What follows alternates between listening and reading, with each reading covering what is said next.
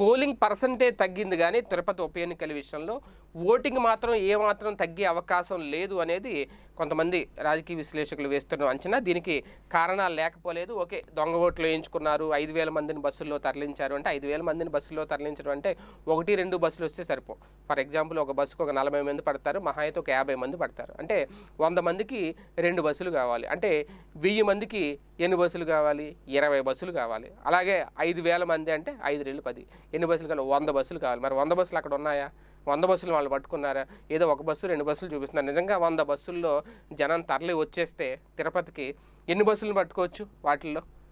మహా అయితే ఒక ఆరు బస్సులు ఏడు బస్సులు ఏదో వాళ్ళు లెక్క చెప్తున్నారు. ఒక వీడియో వైరల్ చేశారు. మా ఆరు బస్సులు వచ్చినాయి స్కూల్ బస్సులు ఒక ఆరు వచ్చినాయి ఏదో లెక్క చెప్పారు. అలా చూసుకున్న పది బస్సులే కదా వచ్చినట్టు లెక్క.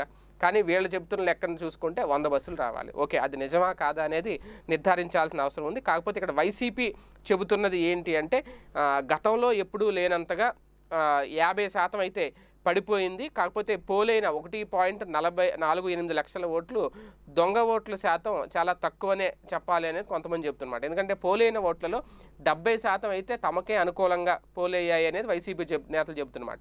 ఎందుకంటే డెబ్బై శాతం వైసీపీకి పోలైతే అంటే డెబ్బై శాతం మీన్స్ పోలైన ఓట్లలో పోలైతే మళ్ళీ దొంగ ఓట్లు ఎందుకు వేయించుకోవాల్సిన అవసరం ఉంది అనేది కూడా అక్కడ ఒక ప్రశ్న. నిజంగా వైసీపీ దొంగ ఓట్లు వేయించుకోవడానికి సిద్ధమైతే వాళ్ళకి డెబ్బై శాతం ఓటింగ్ తమదే అనేది ఏమో ఉంటే ఎందుకు ఈ దొంగ ఓట్లు ప్రయత్నం చేశారు? అంటే ఎనభై తొంభై శాతం రావాలి ఓట్లను? అంటే మెజార్టీ ఎక్కువగా చూపించుకోవాలి అధినేత దగ్గర గొప్పలకు పోవడానిక?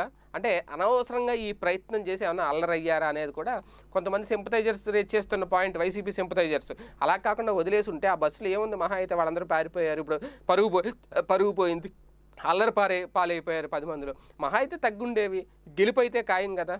పర్సంటేజ్ మెజార్టీ కూడా ఖాయం. ఎంతో కొంత తగ్గుతుంది. పర్సంటేజ్ తగ్గించుకునే కంటే ఇప్పుడు అల్లరి పాలైపోయి పరుగు పోగొట్టుకునేది మరీ దారుణమైన విషయం కదా.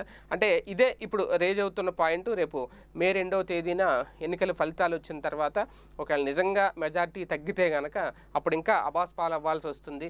ఈ దొంగ ఓట్లు ఓయించు వేయించుకొని కూడా సరైన మెజార్టీ తెప్పించుకోలేకపోయారు అనేది మూట కట్టుకోవాల్సి వస్తుంది అనేది. ఇప్పుడు అధిష్టానంలో కూడా ఇది ఒక అంతర్మాత్రం అయితే జరుగుతుందంట. ఎందుకు ఈ తప్పు జరిగింది? ఎవరు చేశారు? అనేది దీనికి కారకులైన వాళ్ళ మీద చర్యలు తీసుకోవాలనే ఆలోచన కూడా జగన్మోహన్ రెడ్డి గారు చేస్తున్నారట.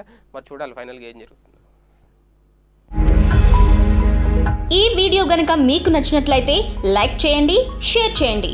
మరిన్ని వీడియోస్ కోసం మా ఛానల్ను సబ్స్క్రైబ్ చేయండి.